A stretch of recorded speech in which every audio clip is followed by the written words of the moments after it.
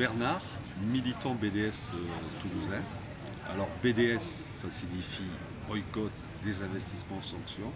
On pourrait rajouter jusqu'à ce que l'État d'Israël respecte le droit international.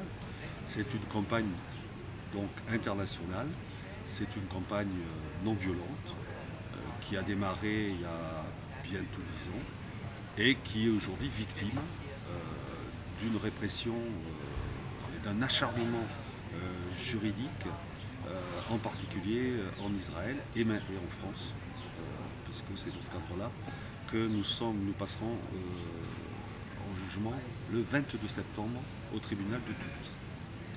Alors, les raisons de, de cette inculpation, c'est-à-dire elle touche quatre militants.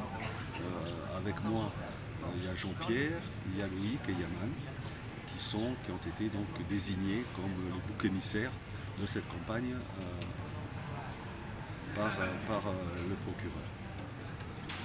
On a déjà eu deux procès, le, procès reporté pour la deuxième fois, la demande des partis civils, qui sont des officines pro-israéliennes, qui mènent cette campagne.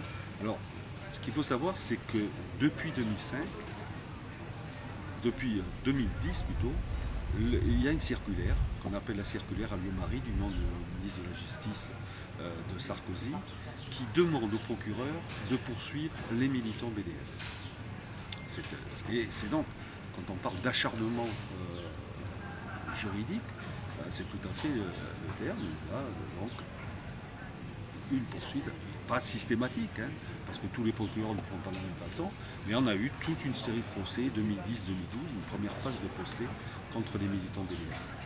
Là, ce procès est un peu spécial parce qu'il vient après une décision de la Cour de cassation de condamnation de nos camarades de Mulhouse. Euh, et cette décision de la Cour de cassation est utilisée par euh, les officines pro-israéliennes pour dire le boycott d'Israël est interdit.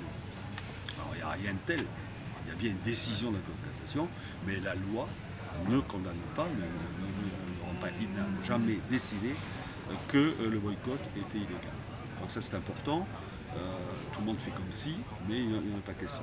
Donc c'est un procès qui est important pour l'avenir de la campagne BDS, qu'on gagne. Je crois que sur le terrain juridique, on doit également euh, être présent et ne pas reculer sur ce terrain-là. Alors, d'une manière générale, ça, rentre un peu dans le cadre de la criminalisation le mouvement social, euh, ce qui arrive euh, au mouvement BDS depuis bientôt euh, plus de 5 ans. donc c'est aussi dans ce cadre-là qu'il faut concevoir la riposte. Et d'ailleurs, sur Toulouse, il y a 50 associations, organisations, partis qui font partie du comité de soutien aux inculpés BDS. Ce qui prouve quand même, je crois que tout le monde a bien compris l'importance de cette répression, l'importance de l'attaque à la liberté d'expression, parce que derrière tout ça, il y a quand même euh, une attaque à la liberté d'expression, de la campagne BDS par elle-même, du soutien au peuple palestinien, et puis on nous interdirait quasiment de critiquer euh, la politique de l'État d'Israël, qui est quand même une politique discriminatoire, qui est une politique d'apartheid, de colonisation, d'occupation, et de non-respect euh, du droit international. Rien que ça.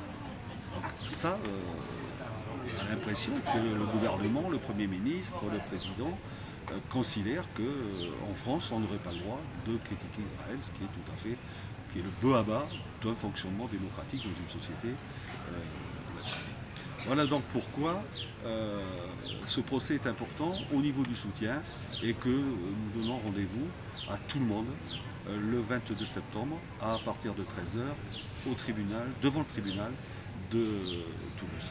Voilà, donc au 22 septembre.